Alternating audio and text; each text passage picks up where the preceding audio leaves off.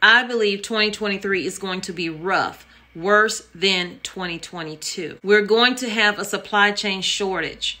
We're going to have an increase in our food prices at the grocery stores.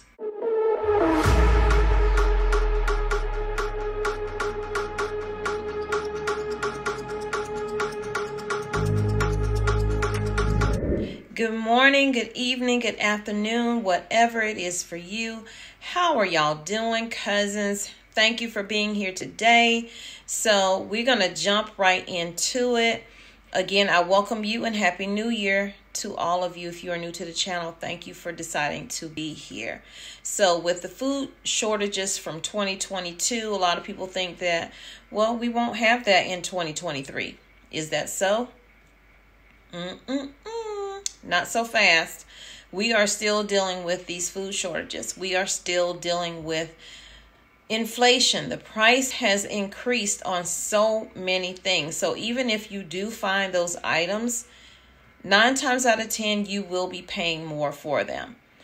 It is best that you do start stocking up regardless of what the cost is set that budget if you possibly can. I know everybody so while a lot of us cannot afford to do that we are going to have to find that money somewhere. Cut back somewhere um, so food shortages may get even worse in 2023. That is the article that I am talking about. So let's dive into this article. Before I do, please help this channel out by doing a few things. Hit your like button, subscribe if you have not, and share it out. And y'all feel free to comment down below and talk to each other about it, what you're seeing in your area.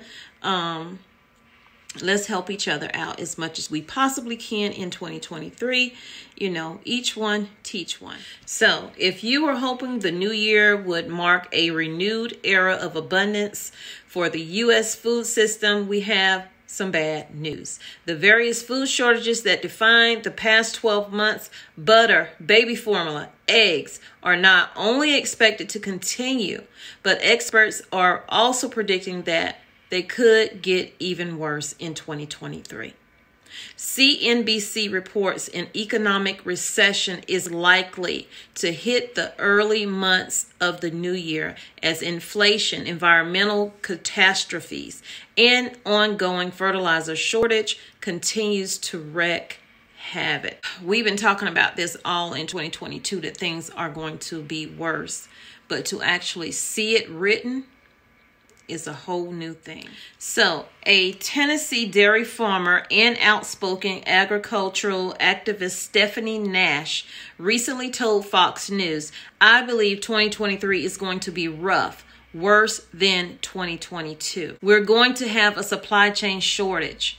We're going to have an increase in our food prices at the grocery stores. I repeat, this is happening now. What are you going to do about it? I've already started preparing as much as I can. And I hope and I pray that you are doing the same and that you share this video out with your family, your friends, your other social media so that they also can get on board with making sure their household is stocked up. The Tennessee dairy farmer, who is a frequent critic of farming regulations, added that inflation is not expected to end anytime soon, as Americans are really going to be hurting in their wallet due to the increase in food costs. The supply chain is struggling to keep up with demand. According to the USDA, the global fertilizer crisis prompted by Russia's invasion of Ukraine has directly affected crop production for farmers. The government predicted that this situation will become more dire in 2023. But guys, that's not the only thing contributing to the food shortages.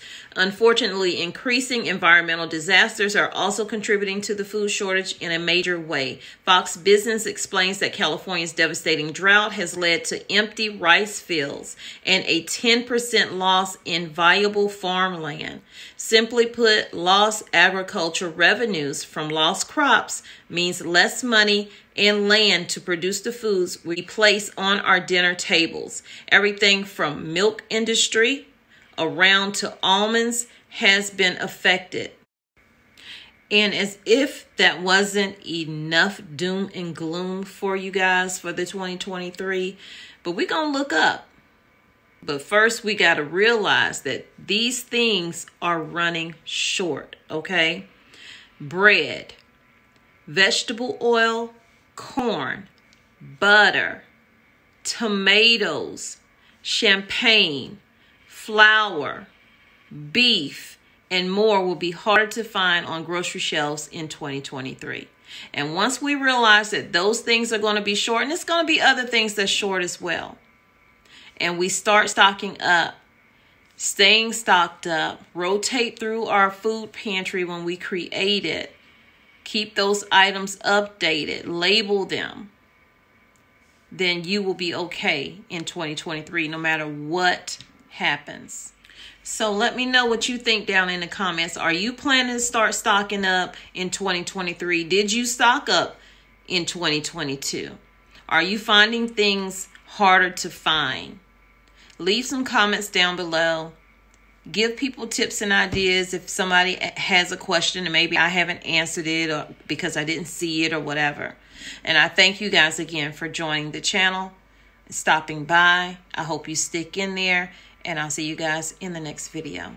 Stay prepped up. Prep today so you are prepared for tomorrow.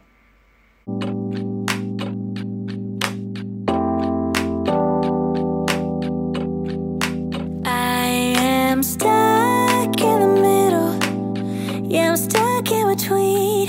I'm stuck in the position. I'm just a machine. So you're stuck in the middle?